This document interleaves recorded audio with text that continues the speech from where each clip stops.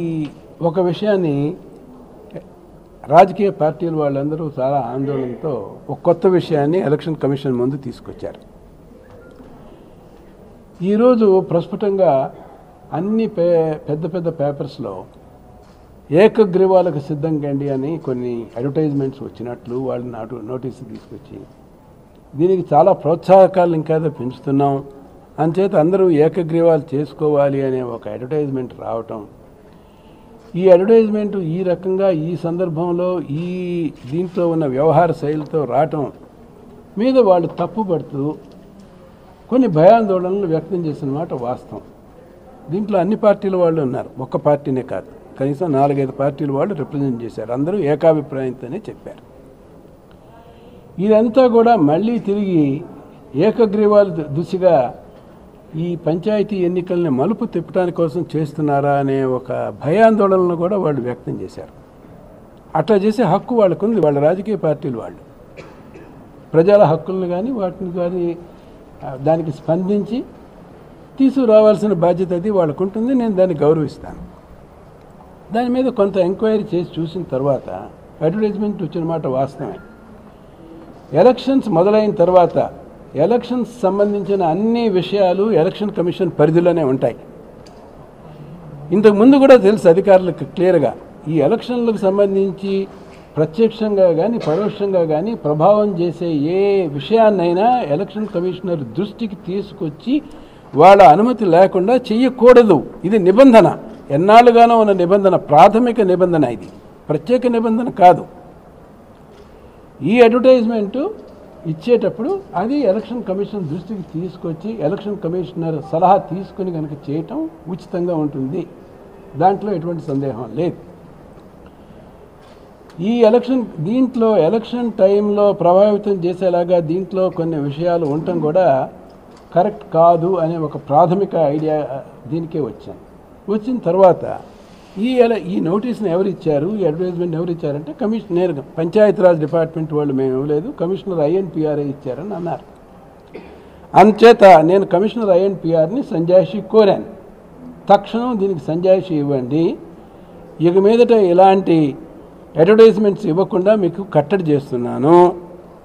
ఇలాంటివి చేయొద్దు ఎలక్షన్స్ మీద ప్రత్యక్షంగా కానీ ప పరోక్షంగా కానీ ప్రభావం చేసే ప్రభావితం చేసే విషయాలు ఏవైనా ఉంటే ఎలక్షన్ కమిషన్ని తప్పనిసరిగా సంప్రదించటం మీ విధి.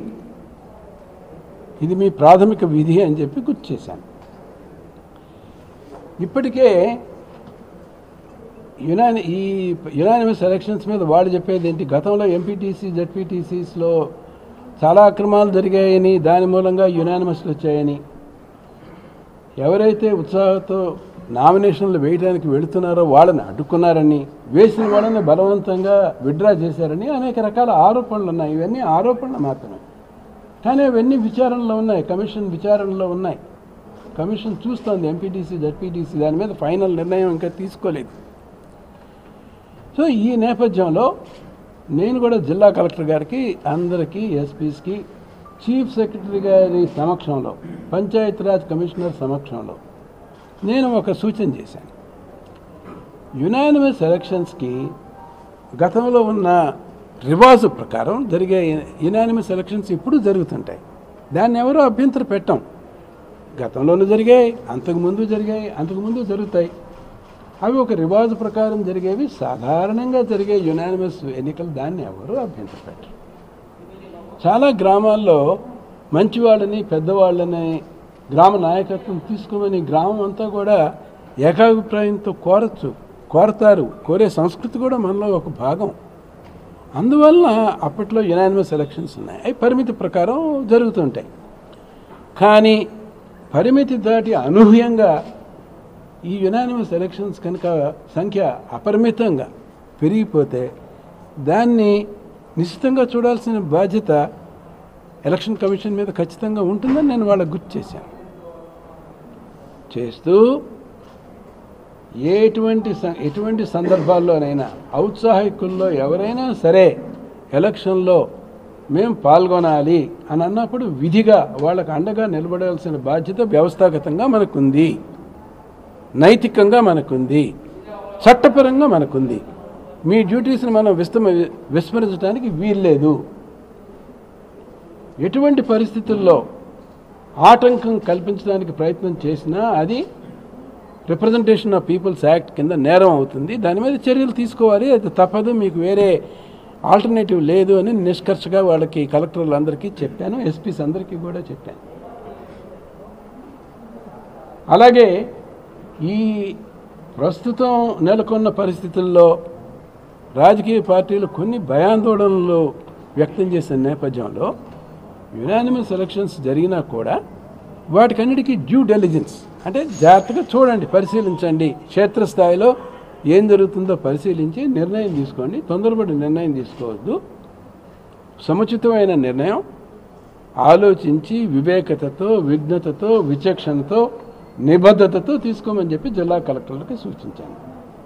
ఇది ఇవాళ ఈ ఎలక్షన్ రీత్యా ఉన్న ప్రధానమైన విషయాలన్నీ కూడా మీకు తెలియపరుస్తూ నాకు ఎలక్షన్స్ సజావుగా జరుగుతాయి. సుప్రీంకోర్టు తీర్పు నేపథ్య అది law of the land supreme court చేసిన వ్యాఖ్యలు కూడా law of the land supreme court చేసిన కీలకమైన వ్యాఖ్యలకి కూడా వ్యవస్థలో ఉన్న ప్రతి ఒక్కళ్ళు నేను కాదు ఇంకో ఎంత పెద్దవాళ్ళైనా సరే నాకంటే పెద్దవాళ్ళు నాకంటే ఉన్నతులు అందరూ కూడా కట్టుబడి ఉండాల్సిందే.